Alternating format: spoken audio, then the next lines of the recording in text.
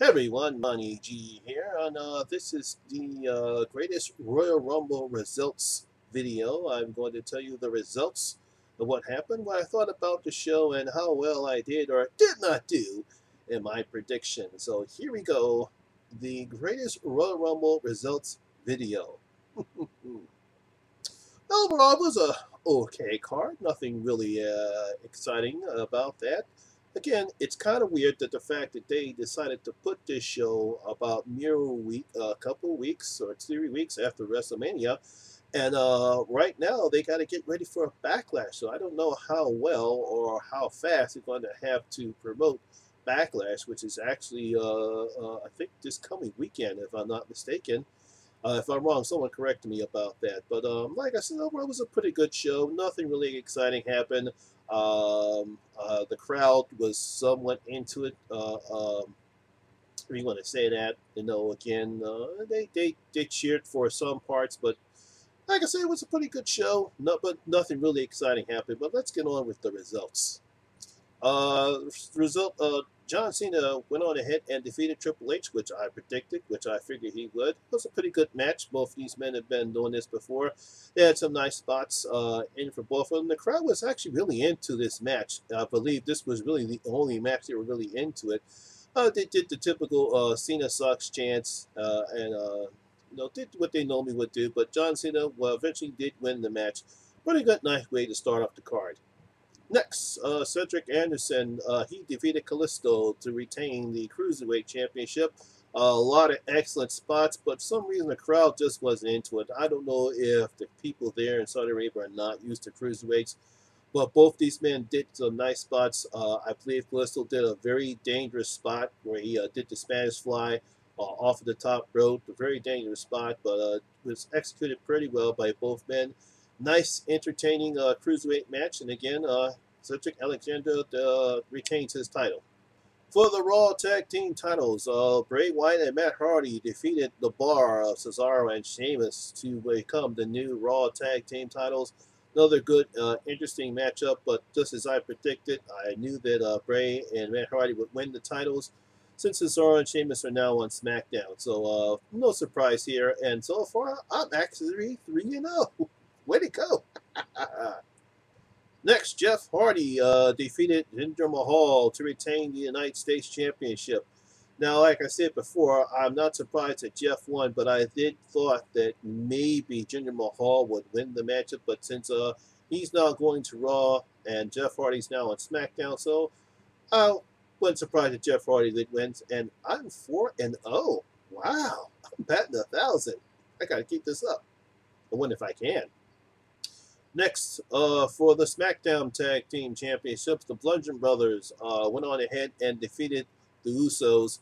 Uh, the Usos did get some offense, but again, the way they've been pushing uh, Harper and Rowan, it was another smash uh, victory for them. They're really uh, are just smashing everybody that they come across. I wonder how long they're going to continue with this push that they're giving them. But right now, the Bludgeon Brothers are there's nobody stopping them if they continue with this push but they retained the SmackDown Tag Team Champions, and I'm now 5 and 0.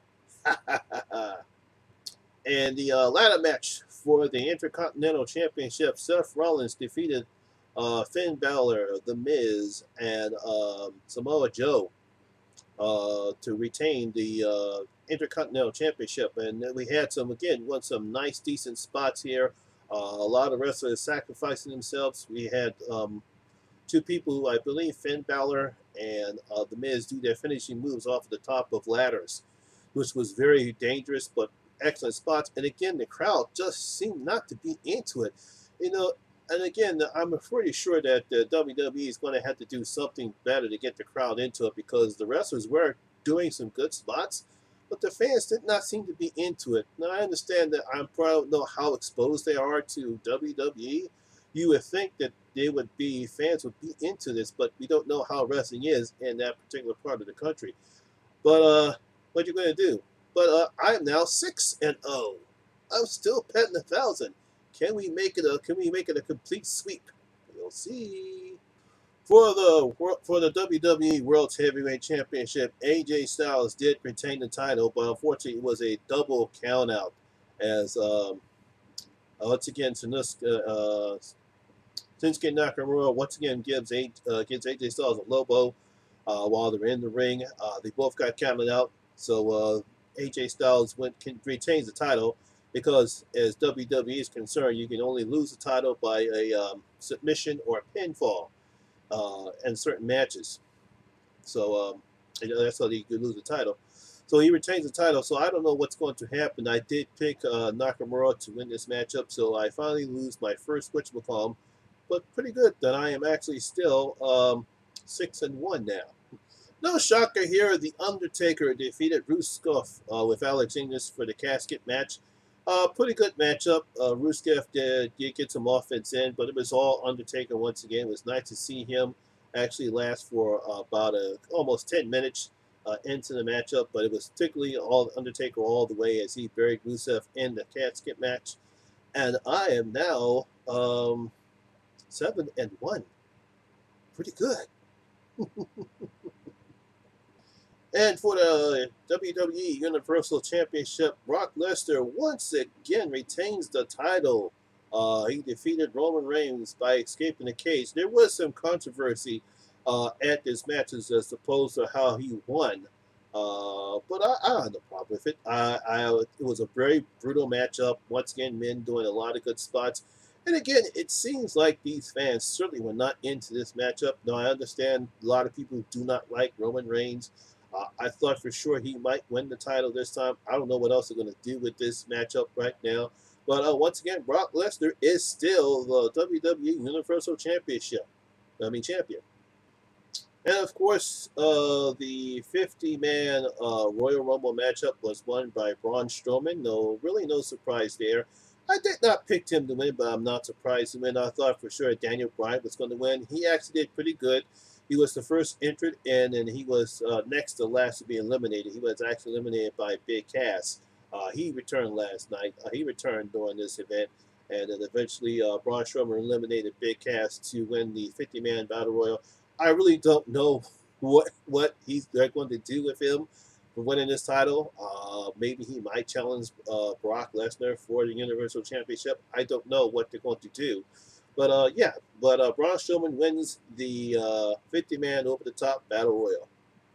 And uh, I must say, I actually did pretty good predicting this matchup. Uh, it was not, uh, it was a very easy card to predict. Like I said, overall, it was a pretty good show. Felt more like a uh, house show. I know the people have said the same thing. I know uh, Doc did not like this card at all. he uh, put a video up about uh, the results and he, uh, ranted about uh, the card itself. Uh, I'm actually going to leave a link in the description for his uh, rant in the description box. You can take a look at that.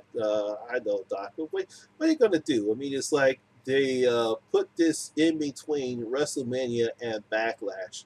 I think if they want to do this, and I understand they signed a 10-year uh, contract uh, to do matches here in Saudi Arabia, well, if they're going to do this, they should at least eliminate one of their pay-per-views and put this on uh, on one of their pay-per-views, so that way they can better prepare for it and not have it stuck in between the main one of the biggest shows, WrestleMania, and uh, another show which is Backlash.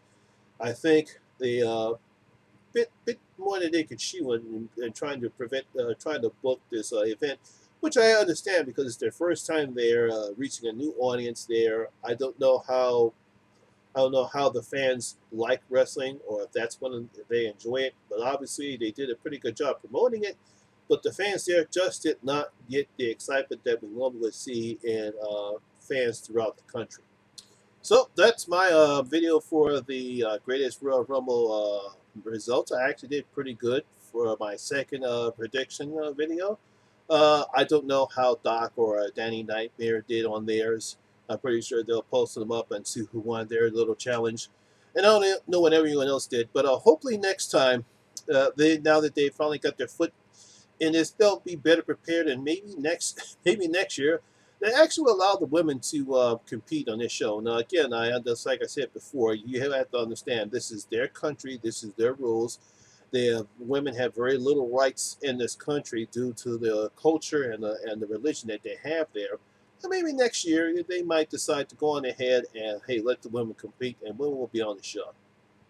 So that's my video for today. I hope you guys enjoyed, and if you did, please give it a thumbs up and please like and share. Uh, hopefully, uh, I'll see you guys next time when I do my next video, which will probably be uh, Tremors, my review of Tremors, A Cold Day in Hell. I'll probably my next video up. Until then, I'll see you guys later. Peace.